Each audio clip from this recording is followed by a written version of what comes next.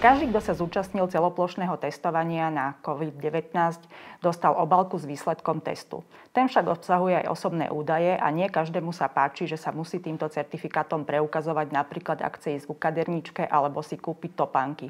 O tom, kto má právo do testu nahliadať, hovoríme s Janou Alušikovou, partnerkou advokátskej kancelárie MPH. Dobrý deň, vítajte. Dobrý deň. V súvislosti s modrým certifikátom s výsledkom celoplošného testovania na COVID-19 sa veľa hovorí o ochrane osobných údajov. Môžeme si nejak vysvetliť, povedať, že kto má vlastne právo kontrolovať tento test a ako sú tieto údaje chránené? Čo sa týka subjektov, ktoré sú oprávnené požadovať eh, predloženie certifikátu o negatívnom výsledku antigénového testovania, tak tie by sme mohli rozdeliť do dvoch základných skupín. Na jednej strane sú to tzv. civilné subjekty, kde patria zamestnávateľia a potom sú to e, prevádzkovateľia iných zariadení, ktorým zákon umožňuje pri vstupe do prevádzky a na pracovisko žiadať preukázanie certifikátu. A potom e, v súvislosti e, s kontrolou opatrení súvisiacich so zákazom vychádzania sú to jednak orgány štátneho zdravotného dohľadu, ako aj orgány, ktoré zabezpečujú eh, epidemiologické vyšetrovanie. Takže tam môžeme zariadiť eh, úrad eh, verejného zdravotníctva, úrad regionálneho zdravotníctva, potom sú to zamestnanci ministerstva obrany, ministerstva vnútra, ministerstva dopravy, výstavby a regionálneho rozvoja a rovnako tak potom je to Slovenská informačná služba. Povedzme si konkrétne, akým spôsobom musím ho napríklad podať do ruky, keď ho odo mňa pýta? Tak účelom je, aby eh, príslušný orgán alebo príslušný subjekt nahliadol do predmetného certifikátu eh, a skontroloval potrebné údaje. Takže vyhláška hovorí o možnosti nahliadnutia, eh, zároveň však vylúčuje iné formy nejakého kopírovania obsahu, po prípade prepisovania obsahu certifikátov. Takže naozaj, aby dochádzalo len k nevyhnutnému nevyhnutnému ako keby spracovaniu osobných údajov, tak v takom prípade e, vyhláška stanovuje možnosť iba e, oboznámiť sa nahliadnutím. Čiže môžeme povedať, že oprávnené osoby nemajú právo si opisovať údaje? Nie, nemajú právo opisovať si údaje. A môžu napríklad žiadať, aby som potvrdila, že som to naozaj ja aj občianským preukazom alebo iným dokladom? Pokiaľ sú to príslušníci policajného zboru alebo teda zamestnanci tých orgánov verejnej správy, ktoré som spomínala, tak tí sú oprávnení požadovať aj predloženie dokladu totožnosti. Pokiaľ by sme sa však bavili o tých civilných subjektoch, čiže či už o zamestnávateľoch, po prípade o prevádzkovateľoch eh, iných zariadení, napríklad nákupných centier, po prípade reštauračných zariadení, tak tí sú oprávnení požadovať certifikát, ale už nie sú oprávnení požadovať predloženie dokladu totožnosti. Ak idem napríklad po ulici, zastaví ma vojak alebo policajt, čo všetko môže odo mňa žiadať? Tak príslušník policajného zboru eh, zo zákona má právo požadovať, eh, aby sa osoba legitimovala, aby teda predložila doklad do totožnosti a rovnako tak má v súvislosti s prijatými opatreniami eh, požadovať prijatie certifik- predloženie certifikátu. A ak ma napríklad zastavia pre dopravný priestupok, môžu tiež pýtať certifikát? Aj v tejto eh, situácii alebo pri takejto okolnosti sú oprávnení predloženie certifikátu požadovať, keďže eh, majú právo skontrolovať, či nedochádza k porušovaniu zákazu vychádzania. A ako je to napríklad s reštauráciami? Idem si pre jedlo alebo si chcem sadnúť na terasu a zjesť tam jedlo. Musím sa preukázať certifikátom? Tak vo vzťahu k definícii prevádzky platí, že za prevádzku je možné považovať aj ten exteriér alebo vonkajšie plochy. Ak teda zákazník chce navštíviť to reštauračné e, zariadenie vonku na terase, pretože stále platí zákaz požívania jedál alebo občerstvenia v interiéri, stále je umožnená konzumácia len v exteriéri, tak v takom prípade e, je ten prevádzkovateľ oprávnený požadovať predloženie certifikátu. Pokiaľ by však e, zákazník e, sa dostavil len za účelom vyzdvihnutia objednaného jedla, tak v takom prípade ten prevádzkovateľ nemá právo požadovať predloženie certifikátu. A ako je to napríklad v obchodoch, do ktorých môžu vstúpiť aj netestovaní ľudia, potraviny, drogerie? Môžu tam pýtať tie certifikáty? Tieto predajne patria práve do kategórie tých subjektov tzv. prevádzkovateľov iných zariadení, teda majú právo požadovať predloženie certifikátu. Zároveň, ako ste uviedli, tak platí, že vo vzťahu k predajniam, ktoré sa týkajú predaja potravín, drogérie, liekov, zdravotníckých potrieb, po prípade nejakých produktov, ktoré sú potrebné na zabezpečenie starostlivosti o deti, po prípade zvieratá, po prípade ak aj ide aj o doplnenie pohonných môd, tak v takom prípade platí, že ak ide o uh, predajňu, ktorá je najbližšie k miestu bydliska predmetnej fyzickej osoby, tak v takom prípade je táto osoba uh, vstúpiť uh, do tejto prevádzky aj bez, aj bez certifikátu, ak teda aj nebola te- testovaná. Je teda však otázkou, akou formou môžu skontrolovať uh, tí prevádzkovateľia, že naozaj je táto prevádzka najbl- najbližšie no, k tomu miestu bydliska a teda, že tá podmienka zákona je splnená.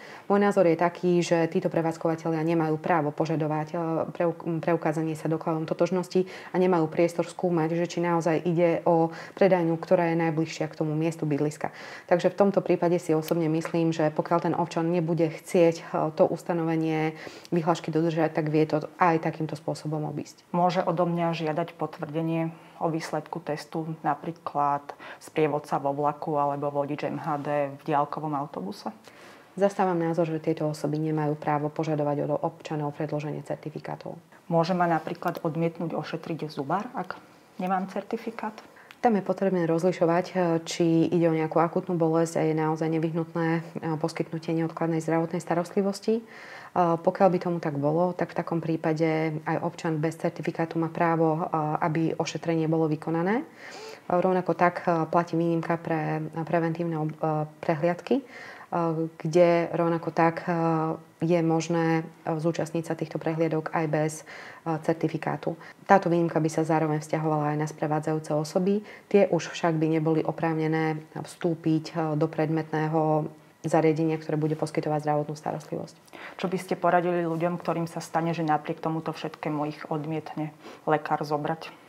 Asi by som zvážila naozaj kontaktovať možno úrad pre dohľad nad zdravotnou starostlivosťou, či v konečnom dôsledku nemôže dôjsť k nejakému porušovaniu základných práv. Treba určite rozlišovať, či ide o nejakú akutnú bolesť, po prípade o potrebu akutného poskytnutia zdravotnej starostlivosti. V takom prípade ten občan by mal mať právo, aby mu tá zdravotná starostlivosť bola poskytnutá.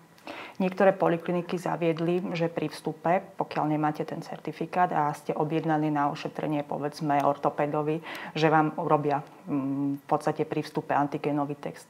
Môžem ho odmietnúť? Odmietnúť môžete eh, vykonanie toho testu, ale eh, tam sa zase vraciame k tomu, že pokiaľ nejde o neodkladnú zdravotnú starostlivosť a nejde ani o prevenciu, o preventívnu prehliadku, tak v takom prípade tá poliklinika alebo to zdravotnícke zariadenie nemá povinnosť eh, poskytnúť vám tú zdravotnú starostlivosť. Čiže dá sa predpokladať, že pokiaľ by neboli naplnené tie jedna alebo druhá podmienka, tak v takom prípade, a nedáte si urobiť ten antigenový test, tak v takom prípade eh, by bolo dôvodné, aby vám to zdravotnícke zariadenie tú zdravotnú starostlivosť neposkytlo. Aké práva a povinnosti majú rodičia, ktorí sa neboli testovať? Môže napríklad sprevádzať dieťa do školy, môže vstúpiť do triedy s dieťaťom? Tu je potrebné rozlíšiť eh, sprievod dieťa do školy po bránu školy, po prípade o, po tie priestory eh, školského zariadenia. To podľa usmernenia ministerstva školstva rodičia urobiť môžu, aj keď teda sa nevedia preukázať negatívnym testom, avšak nemajú právo vstupovať do priestorov školského zariadenia.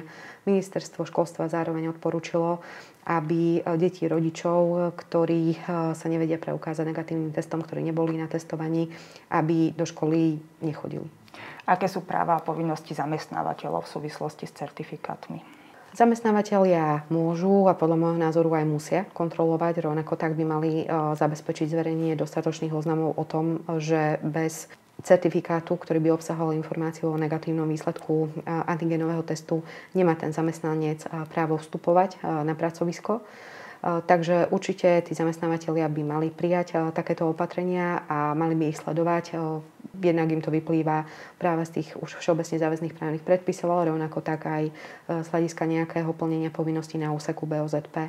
Takže áno, sú oprávnení toto kontrolovať. Viacerým zamestnancom sa firmy vyhrážali, že pokiaľ nepôjdu na testovanie a nepreukážu sa pri vstupe negatívnym výsledkom, takže ich prepustia. Tam už ide o prekročenie nejakých právomocí? V prípade, ak by naozaj nemal zamestnanec urobený test, a, tak má právo alebo má povinnosť ostať v karanténe.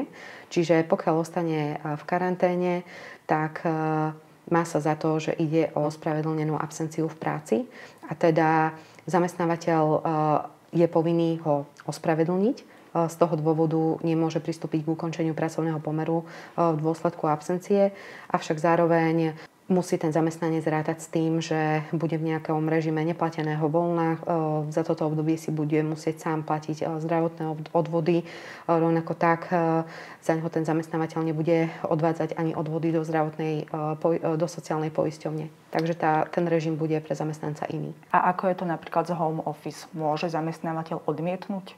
Samozrejme pri povolaniach, ktoré to umožňujú. V súčasnosti ten zákonník eh, práce vytvára zamestnancom priestor na to, aby im bol umožnený výkon práce z domu, tzv. home office, ak to povaha práce pripúšťa. Takže áno, zamestnanec eh, je oprávnený eh, toto v prípade prípustnej povahy práce od zamestnávateľa požadovať.